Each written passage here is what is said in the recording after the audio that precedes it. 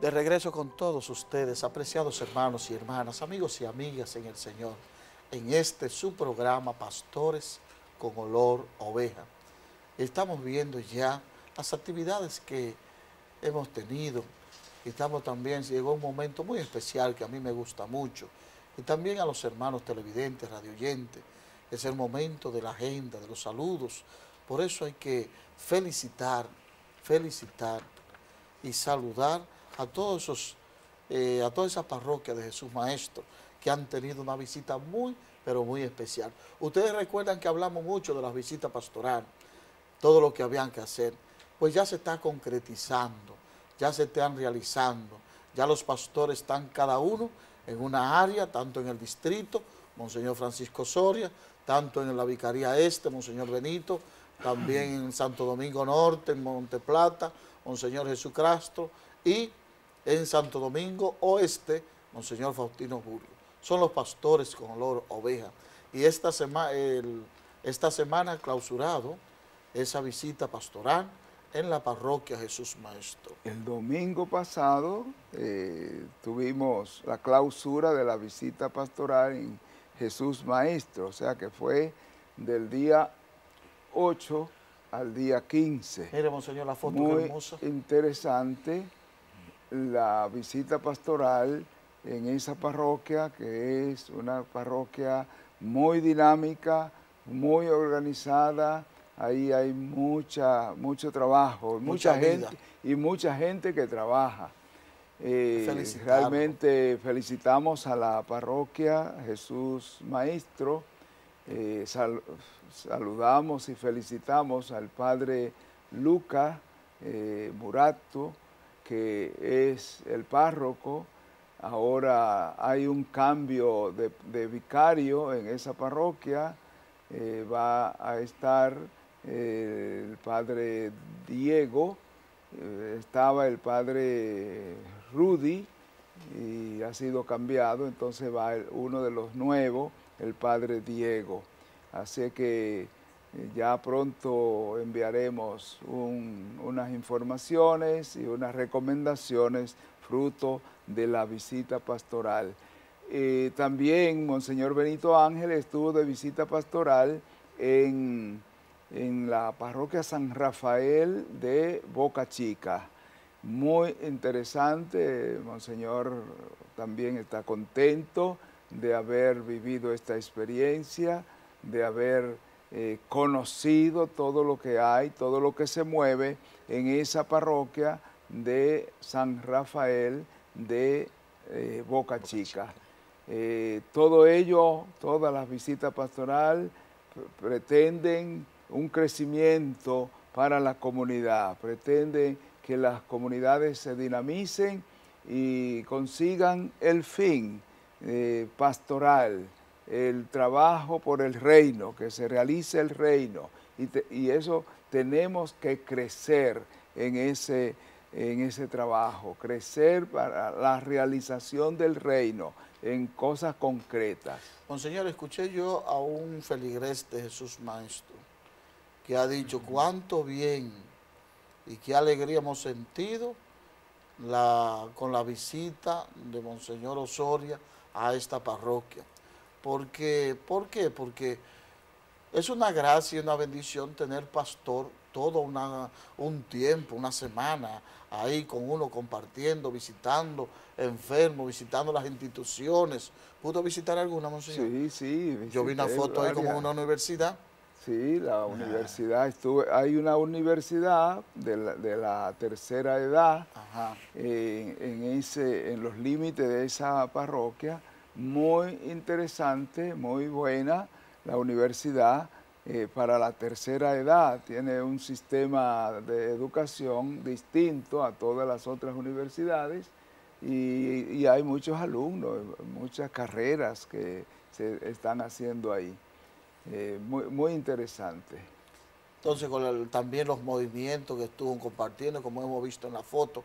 De manera que eso, vuelvo y reitero, es una gracia y una bendición que han tenido estas parroquias, San Rafael de Boca Chica, Jesús Maestro y todas las parroquias donde hayan tenido la visita pastoral. Eh, es siempre motivo de impulso, de, gracia cuando va el pastor a visitar las, las parroquias. ¿Por qué? Porque eso anima, contrario a lo que algunos pueden pensar. ¿Y qué viene? Viene, ah, viene a observarnos. Pues claro, para que las cosas funcionen mejor, también hay que observar. Si están bien, se impulsan, y si no están tan bien, ¿qué se hace, Monseñor? se mejora.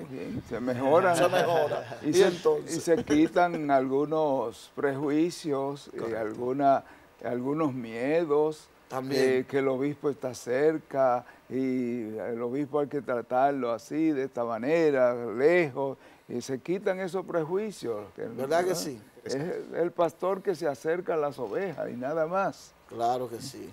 Y es una iglesia también en salida, que van en busca de los demás pues eso es una bendición y una gracia enorme. ¿Qué otra actividad hemos tenido, Padre Vicente?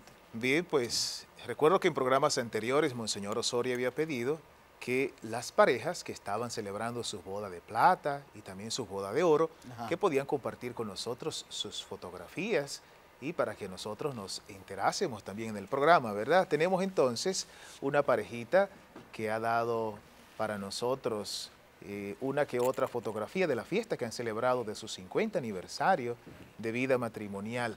Acá tenemos en pantalla a el señor Bolívar Núñez y su esposa Viviana. Ellos han celebrado 54 años ya de vida matrimonial con una hermosa familia y con un hermoso testimonio también dentro de su comunidad parroquial. Ellos pertenecen a la Vicaría Santo Domingo Oeste, parroquia Espíritu Santo en la parroquia. Oye, pero esa parroquia, esa parroquia es muy conocida, padre. Bueno, pues allí está. el párroco en esa parroquia, padre? En esa parroquia está el padre Vicente Sánchez. Vicente en Burgos, Sánchez, también, su parroquia. compartiendo con toda esta gente. Qué bueno que los fieles saben así dónde está el padre Vicente Claro que sí, claro. Y están viéndonos en, este momento, así que un saludo para Viviana y don Bolívar. Y también tenemos otra pareja de la misma parroquia que ha celebrado 50 años, padre, Oye, hay que de matrimonio. Hay que felicitarlo, padre, porque 50 son 50. Aquí están, son el señor Eligio Almont y su esposa, doña Mercedes, también una pareja de mucho testimonio. Eh, son dos catequistas de muchos años al servicio de nuestra parroquia y le felicitamos en su 50 aniversario de vida matrimonial junto con su familia. 54. Bueno, es un gran testimonio, sin duda alguna. Usted ve, padre, que se puede. Eso también es un testimonio para la, juventud que se case, que a veces ven las cosas difíciles. No, hombre, cuando hay amor se puede. Y además un poco de sacrificio también. Es posible. No siempre las cosas tan color de rosa. Porque alguna juventud piensa que todo, a todos van a estar en tiempo como si fueran novios, ¿no? Llega un tiempo que ya se casan y entonces vienen los hijos y hay que sacrificarse un poco, pero sí se puede. Es Un matrimonio que realmente hasta que la muerte lo separe. No dice así eh, el ritual.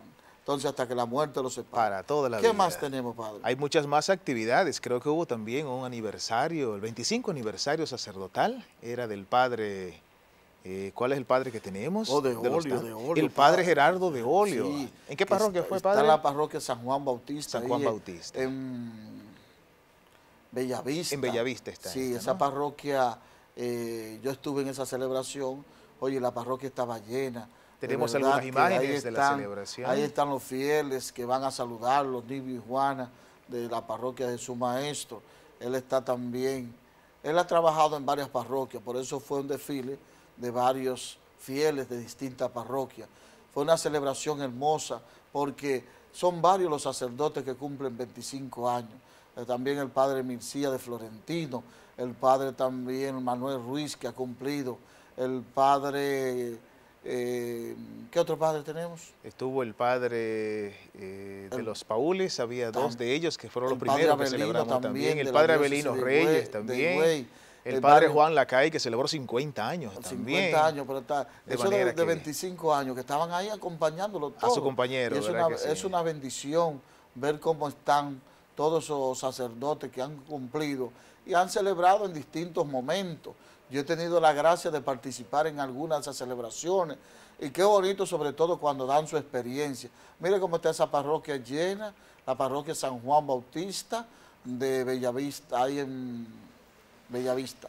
Y eh, cuántos hermanos que lo han apoyado, cuántos sacerdotes estuvo también el Monseñor Jesús Castro, también y que le dio una bendición al final a todos esos sacerdotes que cumplen 25 años. 25 son 25, yo ahora que tengo 9, entonces ahí está ese altar hermoso, lleno de sacerdotes presbíteros. Yo estaba a un ladito ahí.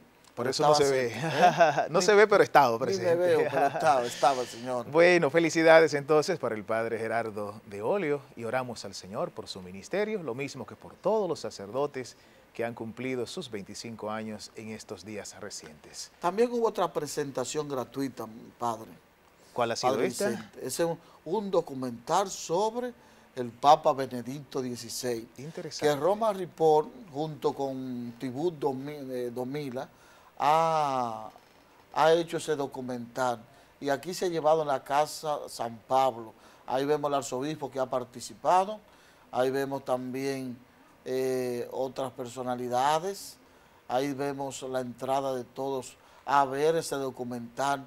Ahí vemos el padre Catalino también, el diácono, las hermanas de la caridad, de la Madre Teresa de Calcuta, porque este documental aclara mucho sobre todo de la, de la vida y renuncia del Papa Benedicto, XVI, que hay muchos prejuicios a veces, ¿entiendes? Ahí está el Papa, ¿entiendes?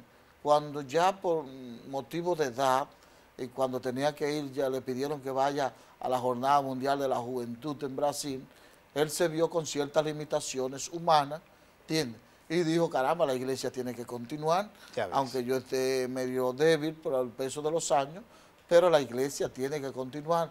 Y fue ahí cuando presentó su renuncia para que venga más adelante el Papa eh, Francisco. Qué interesante, ¿no? Qué interesante. Y con esto la gente puede quedar bastante edificado, todo aquel que pueda ver el documental. Ya eh, se ha presentado esta premier, ¿verdad?, para un público un poco más limitado. Más adelante sé que habrá la oportunidad por otros medios también de poder ver este documental y así edificarnos para entender mejor lo que pasa en la iglesia y poder explicarle a otros también sobre los acontecimientos de la iglesia. Claro que sí. Caramba, padre, se, nos terminó Se nos ha terminado el tiempo. Bueno. Ya no están haciendo señas los técnicos, pues vamos a dar la bendición y saludar, Padre, a tantos eh, hermanos y hermanas que no se pierden el programa en cada una de sus presentaciones. Con frecuencia eh, voy escuchando eh, los hermanos que hablan de pastores con olor oveja. Cuando fui a la parroquia Cristo Salvador, cuántos hermanos que nos ven cuando fui también a la parroquia San Juan Bautista, muchísimos hermanos mandando saludos. Desde aquí nuestro saludo especial a cada uno de ustedes, hermanos. Y le damos la bendición hoy, en este día, para que la gracia de Dios nunca le falte y para que puedan cada día y cada vez que se presente el programa sintonizarnos, porque es importante que, estén ahí. Y qué bueno que son fieles, Padre. ellos no cambian de canal. Agradecemos esa sintonía de ustedes y siempre lo invitamos a sintonizarnos en el próximo programa. Vamos a dar la bendición, que el Señor esté con ustedes y la bendición de Dios Todopoderoso, del Padre, del Hijo y del Espíritu Santo, descienda sobre ustedes y permanezca siempre. Amén. Muchas gracias por su sintonía. Bendición.